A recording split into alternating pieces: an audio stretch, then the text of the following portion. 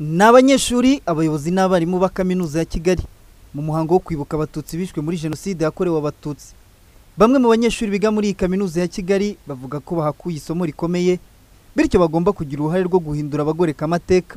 Ikintu cya mbere ni ukwiga amateka uko yagenze kugira ngo twige imbarutso yabyo kugira ngo bitazongera. Icya kabiri kugira ngo twige wenda ababashije gukura u rwanda mu icuraburindi ry'aya mateka ashaririye uko babigenje nuko natwe twashobora kubigiraho kugira ngo mu rwanda rw'ejo hazaza cyangwa no mu gihe kizaza natwe dufite inshingano zo kuyobora igihugu bitazongera.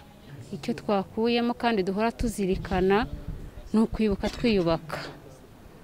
Ni ukwibuka twiyubaka ni uguha agaciro abacu badahari. Umukoro biduhaye ni amateka y'ibyabaye. Tudashaka ko bizagaruka n'undi munsi. Kuza hano ni iby'agaciro nk'uruhongore cyangwa se nk'umwana wavutse nyuma ya jenoside yakorewe abatutsi mu gihumbi kimwe magana cyenda mirongo icyenda na kane. Hano hari amateka menshi. Tuhigira adufasha kugira ngo tube twasigasira igihugu cyacu kugira ngo bitazongera kubaho. Tukagenda tujya no mu bandi bavandimwe baba bataragize amahirwe yo kugera hano tubabwira ubumenyi twakuye hano. Ayini samuel umwe mu bashinze kaminuza ya kigali avuga ko kwibuka ari ugusubiza agaciro abishwe bityo bahisemo kuzana abanyeshuri ndetse n'abarimu cyane ko abenshi muri abo banyeshuri bavutse nyuma ya jenoside bakaba batazi amateka. Bityo babazana kugira ngo bamenye amateka nyakuri kandi bagire uruhare rwo guhindura abagoreka aya mateka. Abanyeshuri bacu cyane cyane ba bandi bavutse nyuma ya jenoside bumva amateka ariko ntabwo barayabona.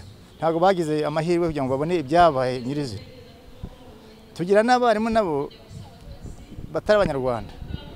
Wenda bumva jenoside yakorewe abatutsi basoma mu binyamakuru cyangwa se no mu bitabo basoma ariko batarabona inkuru y'impamo. Rero twifuje kugira ngo tubazane nabo babirebe abarimu niba bigisha bajye bamenya icyo abanyarwanda baciyemo bamenye amateka baciyemo. Bitume bamenya uko bigisha abana bacu ko mu kwigisha ntabwo tugarukira mu gutanga ubumenyi gusa ariko twigisha n'abanyeshuri indangagaciro niba bigisha babigisha ibiri umurongo ujyanye n'ubumwe n'ubwiyunge na ndi umunyarwanda. Kandi bindi n'imvugo iyo ari yose urabona nk'abantu b'abanyamahanga iyo atazi ibyabaye mu rwanda ashobora kuvuga nk'ijambo risa nk'aho riteje agaciro cyangwa se ritoneka. Twifuza ko abarimu baza nabo bakabibona kugira ngo noneho mu myigishirize yabo bigishe abo bazi bazi n'icyo babigisha.